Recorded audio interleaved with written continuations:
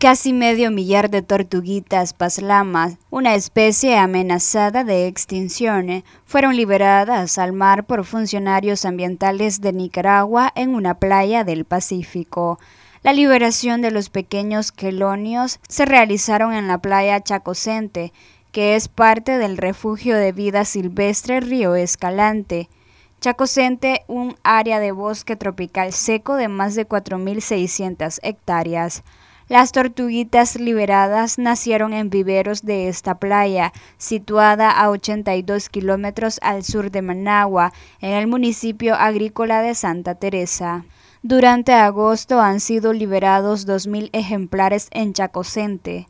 Miles de huevos fueron depositados en nidos excavados por las propias tortugas en la playa, en un espacio de unos 1500 metros de longitud, mientras otros que quedan sobre la arena son rescatadas por guardaparques y llevados a 250 viveros hasta su liberación.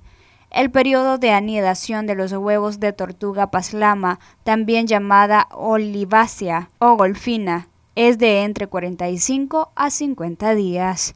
Los nacimientos siguen a las llegadas masivas de tortugas que anidan cada año en Chacocente.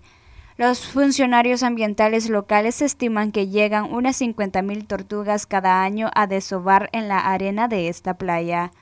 La temporada de arribada va de julio a enero del año siguiente.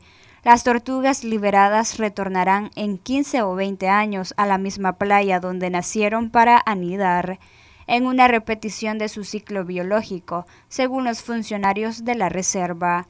Las tortugas paslamas llegan a medir 70 centímetros y a pesar unos 40 kilos. Para Noticias 12, Luisa Centeno.